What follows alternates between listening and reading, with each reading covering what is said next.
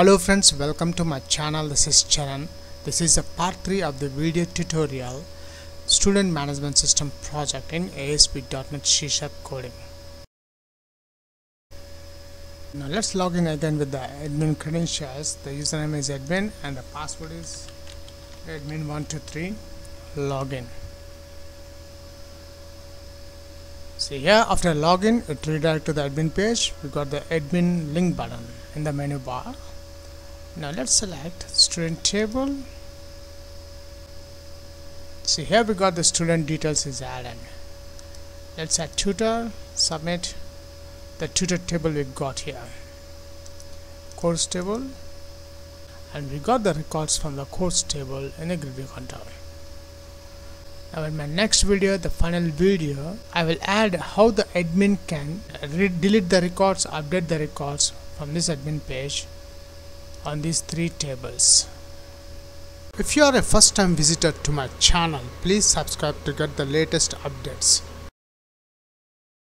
In my previous videos, part 1 and part 2, I have showed how to create the tables in SQL Server Management Studio and how to insert the records, the student details, the course details and the tutor details.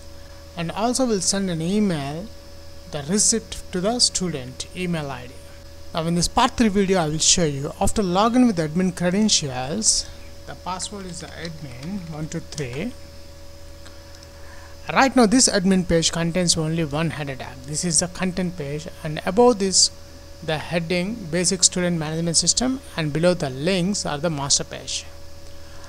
Now I will create one more link button for the admin page. Now in this admin page the admin can manage the student records course records and the student details. Let's log out. Let's switch to the coding part. Now before start the coding part I strongly recommend please watch my previous videos part 1 and part 2 videos now I'm continuing where the part to have stopped. Now switch to the admin page. Notice here the admin content page only we got a header tag. So let's write. So after the admin page let's add the horizontal line. After the horizontal line I'm adding a drop down list control. In the drop down list control I'll get the table names. The table names are the tutor table student table and the course table. These three tables I want to display bind in the drop down list control. Let's add the drop down list control open toolbox. Here is a drop down list control let's add that one. And this drop down list control ASP list item. We have three tables so I require three list items now in this list item I am adding the table names. We have to add the exact the same table name. Course table. The second table name is student table.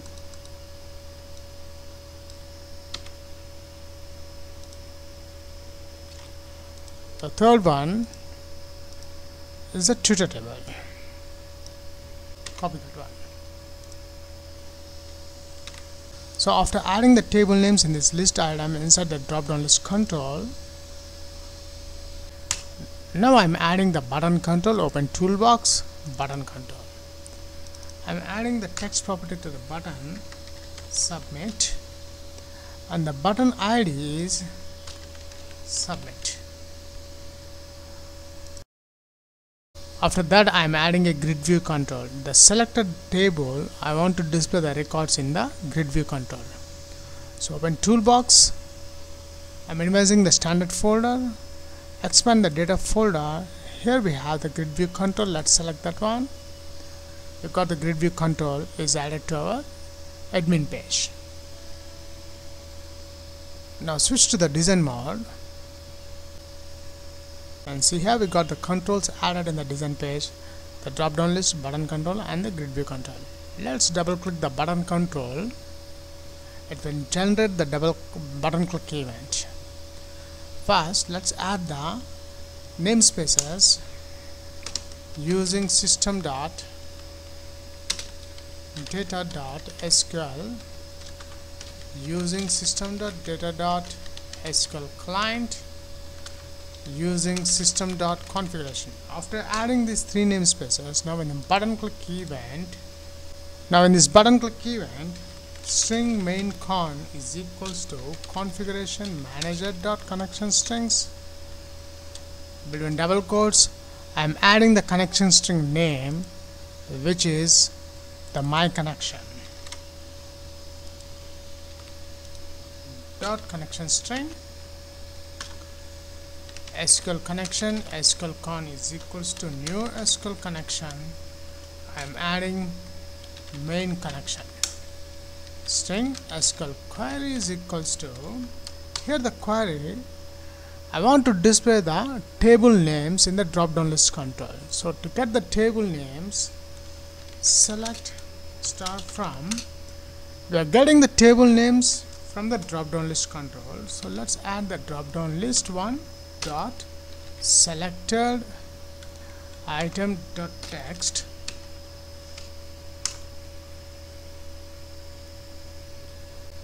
SQL con dot open method. SQL con let's close the connection string. SQL con dot close method. Now between this open and close I'm adding SQL command. SQL com is equals to new SQL command SQL command this one is. The SQL command takes two parameters. The first one is a command text which is a SQL query object. Uh, it's not a string. SQL query comma and the connection object which is a SQL con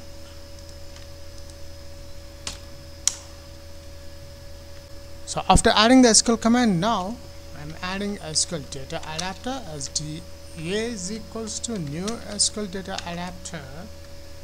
In this adapter I'm adding SQL com object. Data table so we require SQL. It's not SQL. We don't require SQL. We need data system data. So we can access the data table class. Data table dt is equals to new data table sda.fill I'm filling the data with the data table object.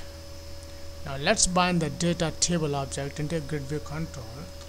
Grid view 1 dot data source is equals to the source we are getting from the data table. Then the final one is a add the data bind method. Data bind method. That's it. We have binded the table names in the drop down list control. So once the admin select a particular table from the drop down we'll get those records in a grid view control. Let's check the output. Google chrome. Now let's log in with the admin credentials. The admin password is admin123 login. And notice here.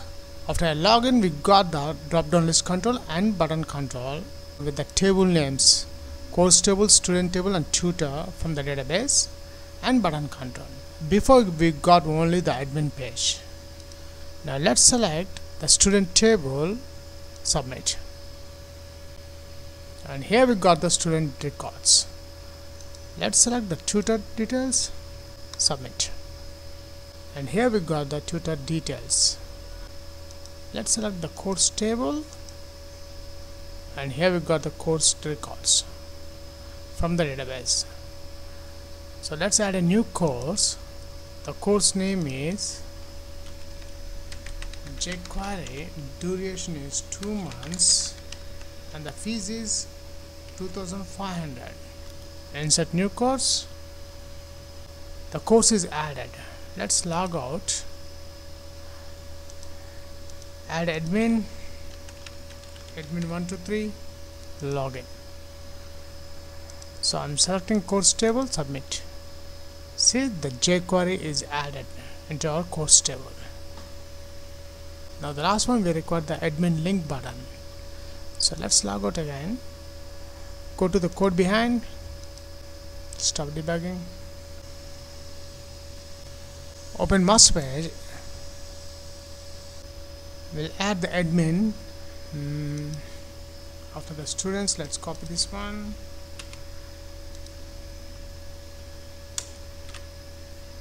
And this one is the admin hyperlink link button. Let's delete this on click event the ID I'm changing to LNK admin. Switch to the design mode. See here we got the admin link double click that one. Here we got the link admin click event. I'm adding the function mm, redirect response redirect. Built in double quotes. I'm adding this admin page admin page dot aspx semicolon. That's it. Let's check the final output. Go to home page google chrome. Now let's log in again with the admin credentials. The username is admin and the password is admin123 login see here. After login it redirect to the admin page. We got the admin link button in the menu bar. Now let's select student table. See here we got the student details is added. Let's add tutor submit the tutor table we got here. Course table. And we got the records from the course table in a grid view control now in my next video the final video. I will add how the admin can delete the records update the records from this admin page on these three tables. And once again I'm telling if you missed my previous videos part 1 and part 2 here are the links part 1 and part 2 thanks for watching and catch you all in my next video. Log